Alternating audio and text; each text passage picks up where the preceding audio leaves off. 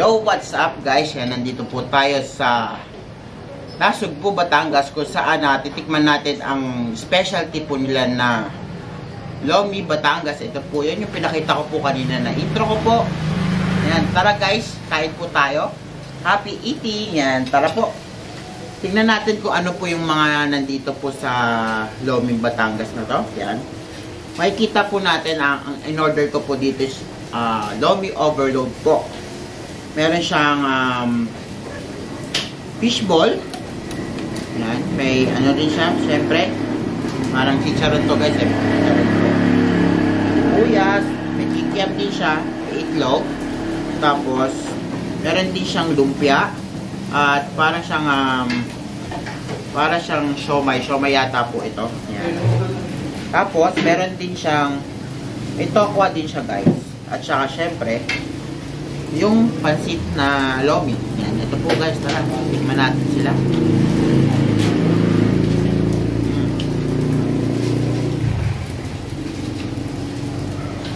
Mm.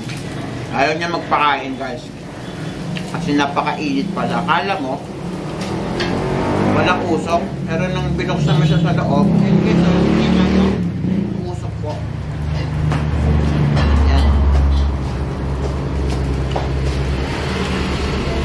Guys, kung sino po ang mga taga dito sa Batangas po, yan. Dito lang po yan sa Maricois. Um, Maricois, lutong bahay po. Siyempre, hindi tayo hindi tayo magpapalagpas. Pag napunta tayo dito sa Batangas, siyempre, ito po yung unang-una natin na titikman dito. Oops. Ulit siya.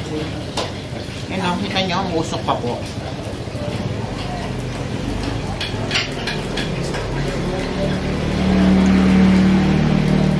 Siyempre, para maging kompleto po yung lasa nito, pwede po natin lagyan ng sausawan niya. Kalamansi, sili, pati yung toyo na parang jowa mo. Laging may toyo. Ito po yun. At kalamansi po po, pag pinatakan niyo po yung sugat niyo, at takbo po at tulin. Ganun po yun guys.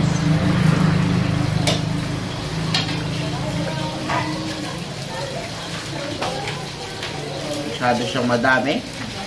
Madami po siya guys.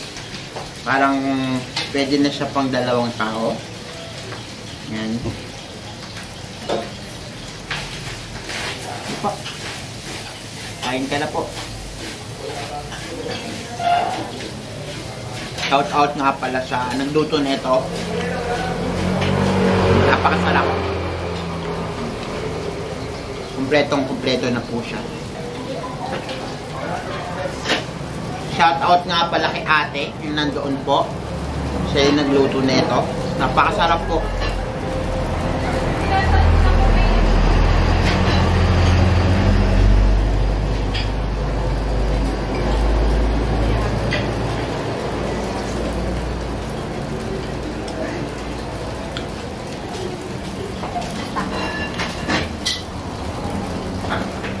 Actually, kanina po kakain ko lang.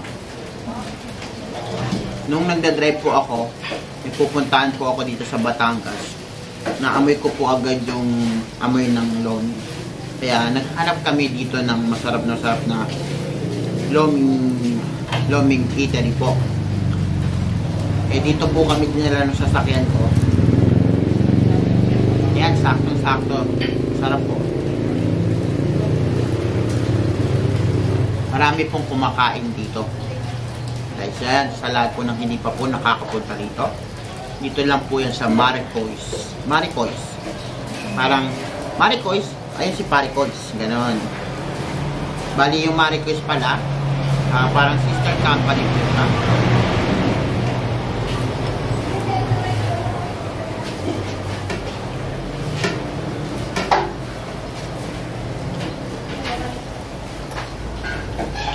Konting kaalaman lang po. Yan. Kaya po siyang tinawag na lomi. Meron po kasi dalawang maglolo. Tsaka, ang pangalan po ng bata is Mimi. Nagyaya po ang bata na kumain ng lomi. Ah, noodles po, actually. Ganun po. Ah, Pasensya na. Kwentong barbero lang po yun. Dami.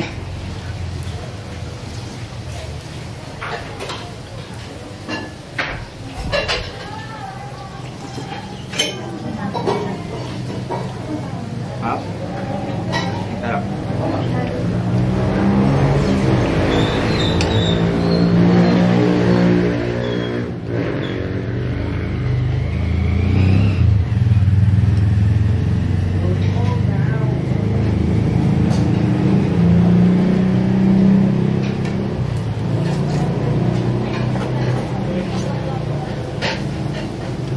Shoutout nga pala sa iyo, Sir Wasanak.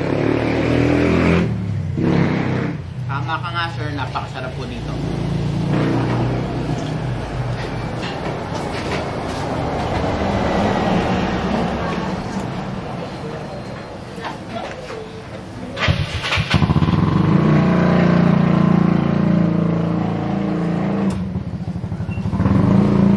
Shoutout nga pala doon sa tambucho ni Kuya na akala mo New Year na po. Hmm, pwede yan.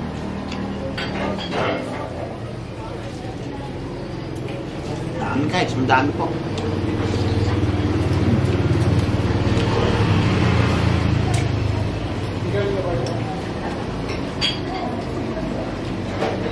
Pwede naman. Ate?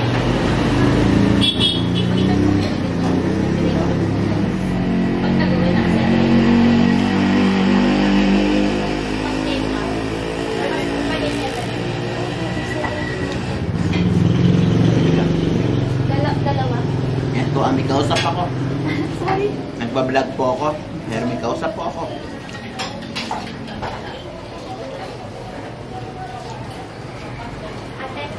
Yan. Shoutout nga pala sa Everyday Music. Hello my dear D. Yan, kain tayo.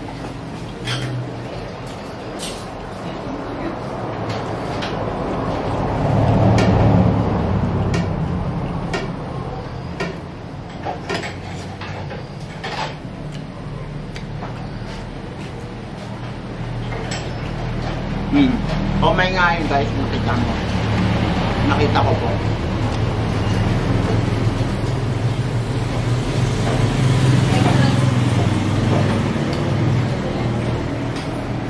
Ang dami ng laman guys, oh. Ayan siya. 99 pesos lang po yun. Ito po, 99 pesos lang po. Malapit na akong masamid. Shout out sa'yo, yung nakakaalala sa akin ngayon. Kanina pa ako nasasamid. Okay lang po ako. Kahit hindi niyo po ako masyadong inaalagaan, kaya ko pong alagaan ang sarili ko po. Okay lang po ako. Opo. Gago!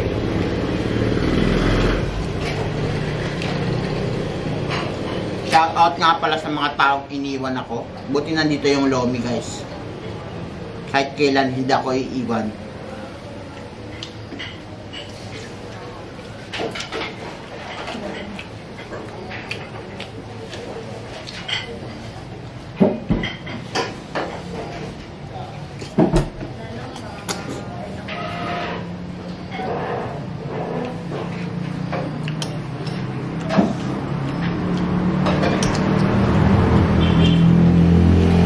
Shout out nga pala dun sa nagluto nito. Yan. Kaway-kaway po. Yan. Andun po.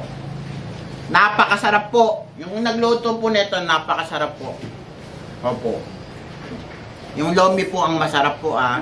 Baka sabihin nyo po, siya po yung masarap. Nagmaya siya.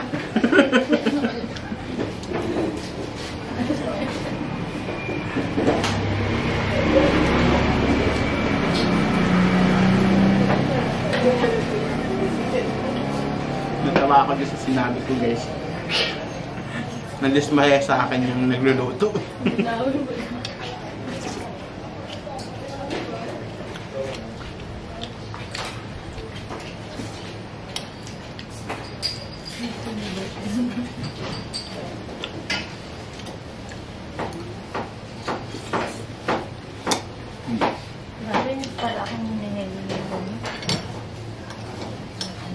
lahat po ng mga single dyan,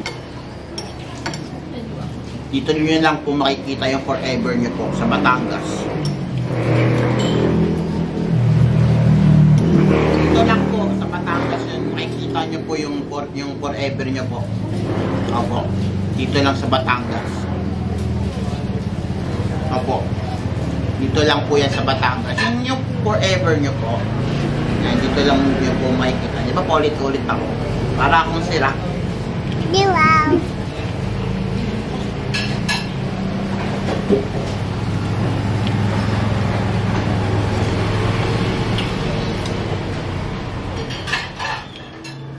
Magandang araw po. Welcome po sa Maricoy. Andito po kayo sa Maricoy. Um, ang Maricoy po ay almost 6 years na. Um, tinawag siyang Maricoy kasi meron po kaming unang restaurant. Pangalan ni Paricoy. Si Paricoy po ay kapatid ko. So, since po, ano, maganda ang business, um, almost 10 years na mahigit ang Paricoy, nag-isipan namin mag-branch. So, naisipan namin mag-asawa na mas papatok kung Maricoy ang aming restaurant. Ah, Bakit po Mariko yung tinawag nyo po, ma'am? Kasi nga, si ang kapatid ko ay si Pare kay Sauce. Ako, si Maricoy. Yan. Sige, ma'am, um, yung location nyo po, invite nyo po sila namin dito. ay ah, Barangay 4, F. Alex. F. Alex Street, Nasugbu po, Nasugbu, Batangas. Ang ano po namin ay malapit po sa Dunkin' Donuts. Um, Sukitel, at saka malapit din po kami sa mga simbahan. Um, Magling distansya lang po. Mga public market. Yan. Sige, ma'am, invite nyo po sila dito. Kung gusto po nyo pong kumain ng masarap na lomi, mga silog, mga um, Filipino foods, mga yung mga adobo, yan po, sikat po kami sa mga pagkain Pinoy. Lalo-lalo na po ang lomi, nasa ah, Batangas, um, goto, goto Batangas, at marami po akong iba, mga por, mga silog, mga silog po, yan po, marami po rin kami. At saka mga lutong Pinoy po talaga ang sineserve namin dito sa Marco. Ay, Ayan. ayan. Punta po kayo dito.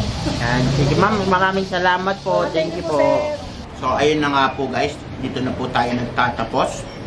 Kung hindi po kayo nakapag-like pa sa aking page, sa, sa channel ko po, subscribe nyo na po ako para lagi po kayo maging updated sa aking mga ina-upload na videos. Yan, maraming salamat po. God bless po sa ating lahat. Happy eating po. Thank you, thank you po.